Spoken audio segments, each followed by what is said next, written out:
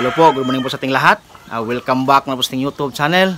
For today's video, ay isa naman pong tanong po ng ating pong subscriber, ang ating pong sasagutin.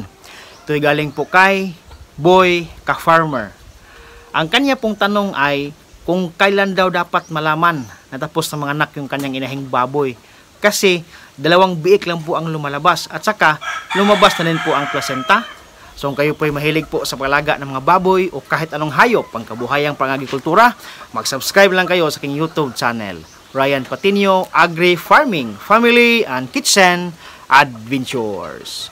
So ngayong araw po mga kaibigan, uh, atin pong pag-uusapan yung tungkol po sa katulungan po ng ating isa pong subscriber na ito po tungkol sa panganganak ng ating mga inahing baboy kung kailan daw matatapos at uh, malaman na wala na pong laman yung loob ng tiyan ng ating inahing baboy. Sa paalaga po ng mga inahing baboy po mga kaibigan, dapat alam po natin yung mga normal days kung kailan po siya dapat manganak. So ang atin pong tandaan, kapag tayo po nagpapakasta ng ating mga inahing baboy o mga dumalagang baboy, para talaga hindi po natin malimutan, atin lang pong tandaan yung tatlong 3. 3, 3, 3. 3 months, 3 weeks, at 3 days.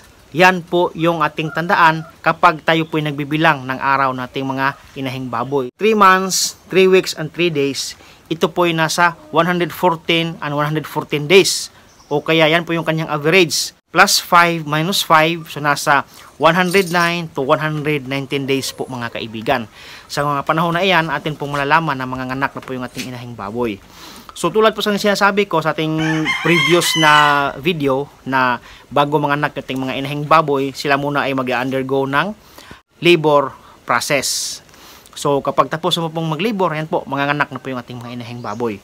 Ito po sa concern po ng ating uh, subscriber kung kailan natin malalaman na tapos na po mga anak yung ating inahing baboy. Masasabi po natin na tapos na po mga anak yung ating inahing baboy kapag yung kanyang inunan at saka placenta ay lumabas na po. Kadalasan kasi po mga kaibigan, yung inunan o placenta, yan po ay lalabas uh, sa panghuli na pong part ng panganak ng ting inahing baboy.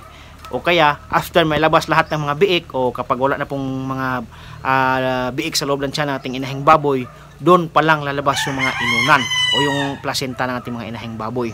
Kasi po, yung inunan po, yan po yung nakadikit doon po sa uterine lining ng ating mattress, ating mga inahing baboy. Ya, doon po dumadaan yung mga oxygen, carbon dioxide, mga vitamins, minerals galing sa ating inahing baboy papunta po doon sa kanyang mga biik. So, siya po yung naka-attach doon po sa lining ng uh, uterine wall ng ating mga uh, mattress ng ating inahing baboy. Kaya, siya po yung huling lalabas. Kasi habang nanganganak yung ating inahing baboy, lumalabas yung mga biik, yung inunan po ay nakadikit pa yan. Kasi, mayroon pang ibang biik na hindi nakalabas. So, ibang yung ibang biik na nasa loob pa lang ng tiyan nating inahing baboy, yung uh, oxygen, carbon dioxide, at saka yung mga circula- blood circulation ay naka-attach pa sa kanyang uh, mama pig. So, after may labas yung biik, kapag naputol na po yung puso, di ba, maraming dugo na lumalabas, yan po ay galing po sa placenta o inuna ng ating mga inahing baboy. Kaya, mas naunang lumabas yung mga biik kapag nakalabas na po yung mga big mga kaibigan sa wala na pong laman ng loob ng kaniyang uterus o yung sa loob ng kaniyang mattress, dahan-dahan na po yung magdi-detach yung placenta doon sa lining ng ating uterine wall. So pagka-detach niyan mga kaibigan, makikita po natin na mayroon pong uh, panandaliang paglabas ng mga dugo sa puwerta ng ating inahing baboy. Kasi dahan-dahan na siyang nag-detach. So habang dahan-dahan nag-detach yung placenta doon sa lining ng ating uterine wall, yung uterus naman pong baboy mga kaibigan ay dahan-dahan din po niyang liliit para hindi po magkaroon ng bleeding para ma, uh, maisaran niya yung mga part na mayroong laceration kung saan po nakadikit yung placenta. So, dahan-dahan pong liliit yung uterus ng ating inahing baboy para ma-prevent po yung bleeding mga kaibigan.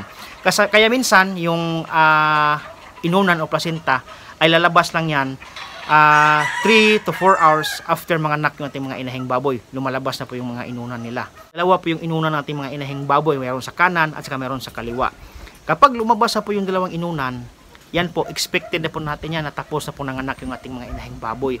Kahit na isa, dalawa, tatlo, apat, lima lang yung biik na lumalabas, basta nailabas na po niyan yung dalawang inunan niya, ibig sabihin yan mga kaibigan, wala na pong laman yung loob ng tiyan ng ating inahing baboy at saka tapos na po siyang mga anak. Ah, minsan din, meron ding nangyayari na nilabas na yung dalawang inunan mayroong isang biik na sasama sa hulihan. So minsan lang po yung mangyayari. Siguro yung biik na yan ay nasa pinakailalim na part ng ah, inunan ng ating inahing baboy. Kaya paglabas ng ibang biik, pagka-detach ng ah, inunan ng ating inahing baboy mula doon sa kanyang matres, doon sasama siyang lumabas kasama ng ah, kasabay ng paglabas ng huling inunan po mga kaibigan.